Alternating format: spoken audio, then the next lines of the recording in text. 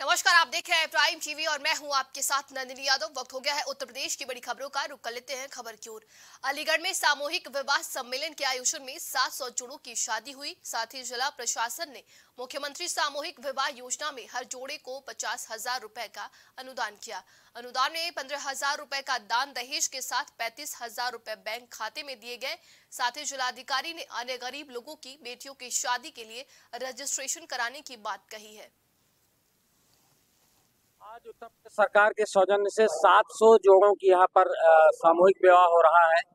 और इसकी सारी व्यवस्थाएं यहाँ पर की गई हैं सरकार की ओर से प्रत्येक जोड़े पर इक्यावन हजार रुपया सरकार की ओर से व्यय किया जा रहा है जिसमें से पैंतीस हजार रुपये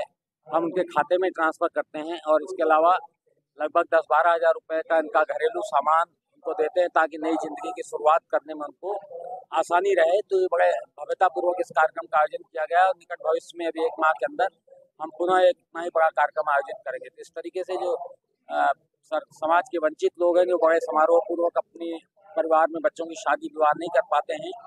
उनको उत्तर प्रदेश सरकार के सौजन्य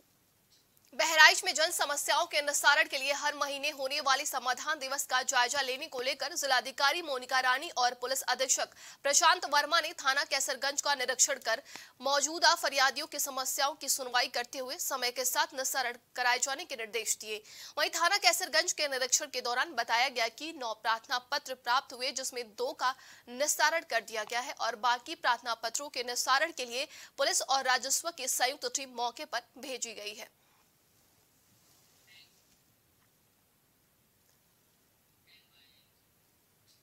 पीलीभीत के पूरनपुर नगर में साधु टीएल बासवानी के जयंती पर मास रहित दिवस घोषित किया गया था और मीट दुकान स्वामियों को दुकान बंद करने के आदेश दिए गए थे जहां आदेश के बावजूद नगर में कुछ ही मीट की दुकान बंद रही और आदेशों की जमकर धज्जियां उड़ाई गई हैं।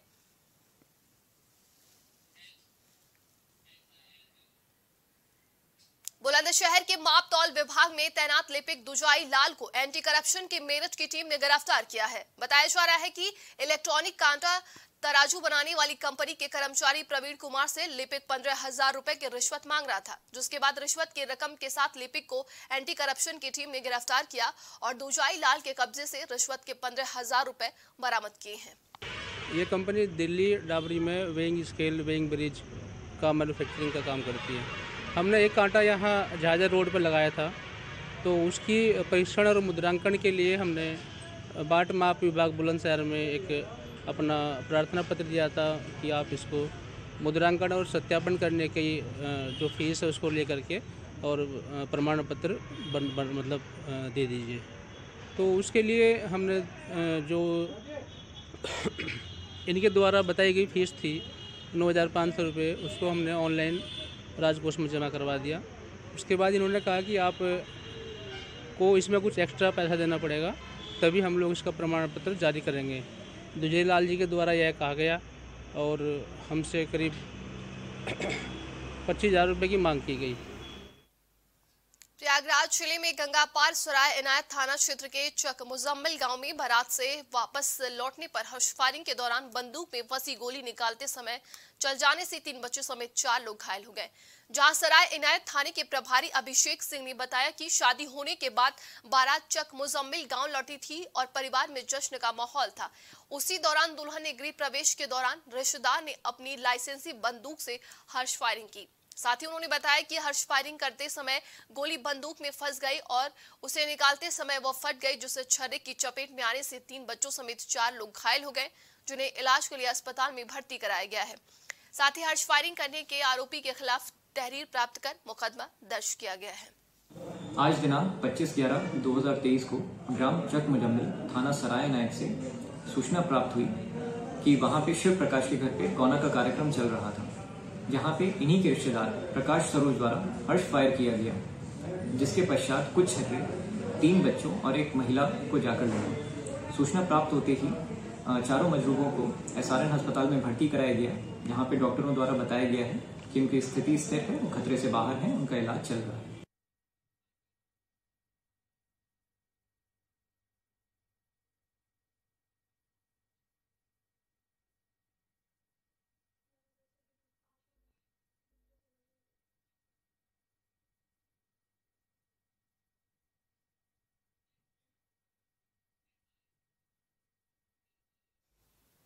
गोंडा में तरबगंज के चिबराहा गांव में रामलीला देखने गए युवक की हत्या कर दी गई जिससे इलाके में सनसनी फैल गई बताया जा रहा है कि मेला देखने गए युवक पर दबंगों ने धारधार हथियार से हमला कर दिया जिससे युवक गंभीर रूप से घायल हो गया जिसे इलाज के लिए मेडिकल कॉलेज लाया गया है जहां युवक की मौत हो गई वहीं परिजनों ने तीन लोगों को खिला तहरीर में थाने थाने में तहरीर दी है फिलहाल पुलिस मामले की जाँच में जुट गई है लखनऊ में थाना पीजीआई पुलिस को बड़ी सफलता हाथ लगी है बताया जा रहा है कि पुलिस ने तीन वांछित अभियुक्त को गिरफ्तार किया है जिनके पास से पुलिस ने 18 जोड़ी पायल पांच अंगूठी तीन चैन और कई चोरी के सामान पहिया दो एक चार पहिया वाहन बरामद किए हैं बताया जा रहा है कि पकड़े गए चोरों ने लखनऊ की कई स्थानों पर चोरी की घटना को अंजाम दिया था और पुलिस ने शहीद पथ के किनारे से चोरों को गिरफ्तार किया है ये पीजीआई थाना क्षेत्र से तीन अभियुक्तों को गिरफ्तार किया गया है जो एक गैंग बना करके घरों में चोरी करने का काम करते थे इसमें कमिश्नर महोदय की क्राइम ब्रांच टीम और पीजीआई थाने की टीम ने मिलकर के बहुत सराहनीय कार्य किया है इसमें से जो गैंग का सरगना गाजी है इसके ऊपर पूर्व से एक दर्जन अभियोग पंजीकृत थे इन सभी के द्वारा वर्तमान में जेल से आने के बाद चार घटनाएं करी गई हैं इसमें से तीन घटनाएं थाना पीजीआई क्षेत्र से संबंधित हैं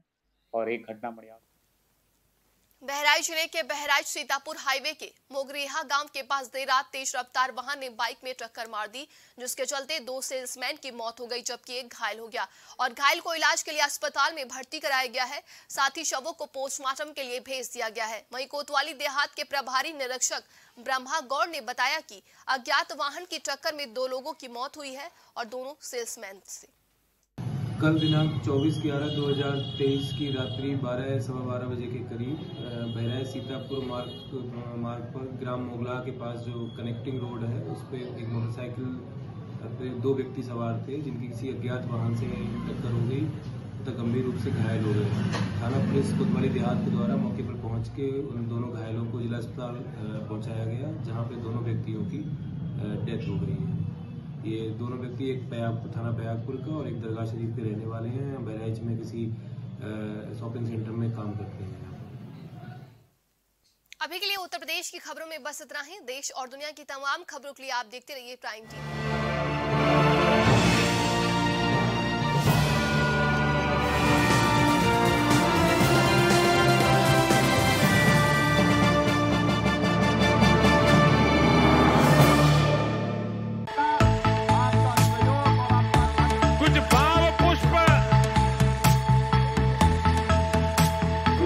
आप देख रहे हैं प्राइम टीवी सच साहस सरोकार